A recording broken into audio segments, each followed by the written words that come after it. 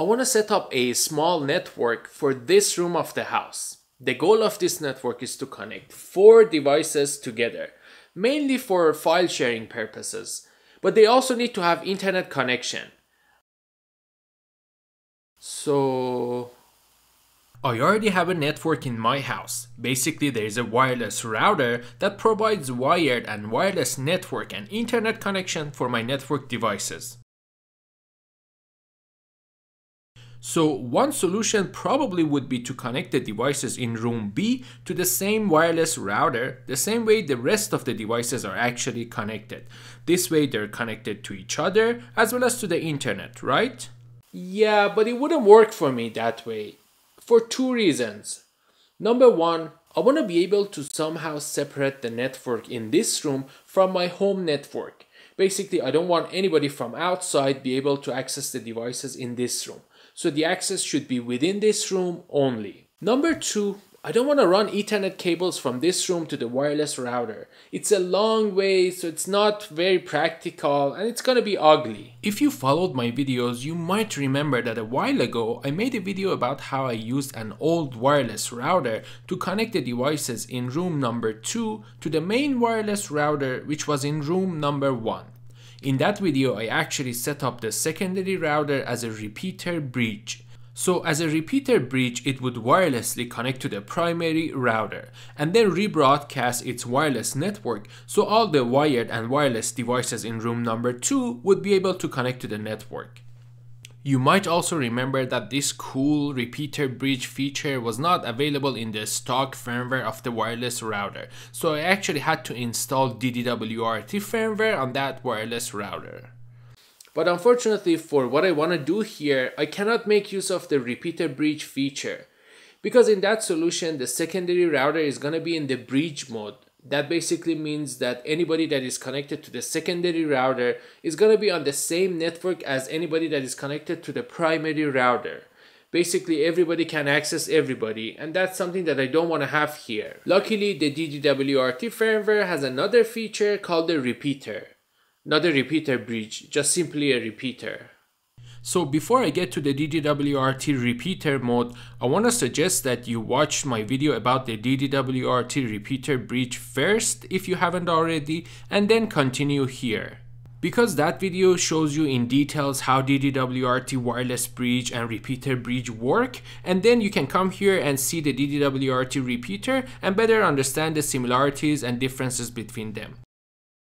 And since the DDWRT firmware is required for the repeater feature, you might also be interested in another video that I have, which I actually show how I installed this firmware on my wireless router. So we already know that in the repeater bridge mode, everybody is going to be on the same network and same subnet. For example, here in this setup, the network is 192.168.1.0.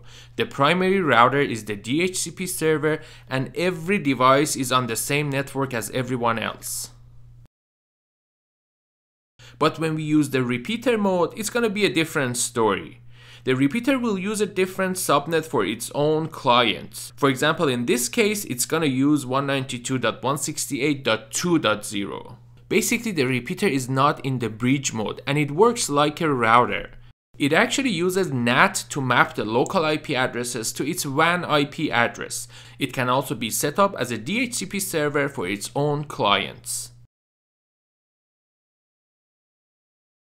So before I start, I need to make sure I have these information available about the current wireless network. The wireless network name or SSID, the security settings for the wireless network, and the network address or subnet.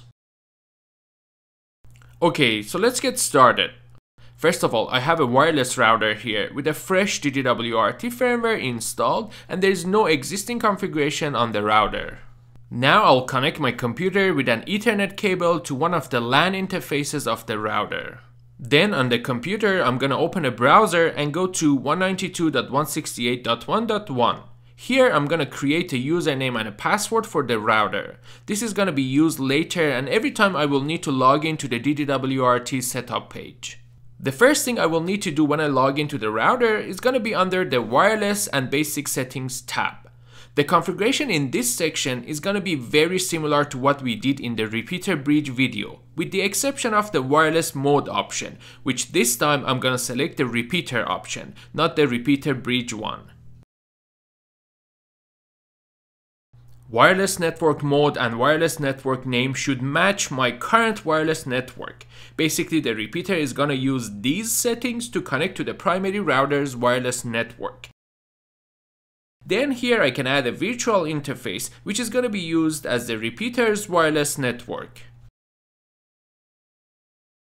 Next, I'll go to the wireless security tab. Here I will enter the security settings for the current primary router's wireless network.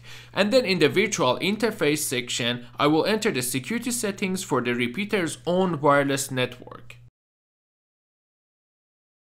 Next, I'll go to the setup and basic setup tab. This is where I can select a subnet for the repeater's local network. For example, I'm going to use 192.168.2.0. I can also enable the DHCP server for the local network. This way the local clients would automatically receive their IP addresses from the DHCP server on the repeater.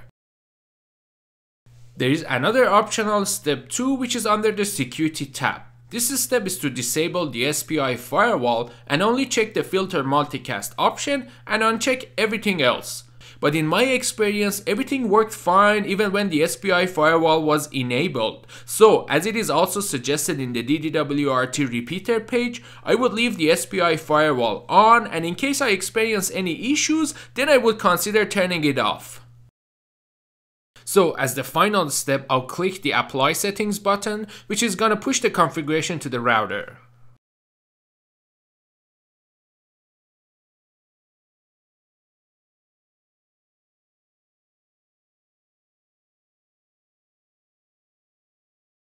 Now in the browser, I'm going to use the repeater's new IP address to log in. I can see that there is a WAN IP address which tells me that the repeater is successfully connected to the primary router.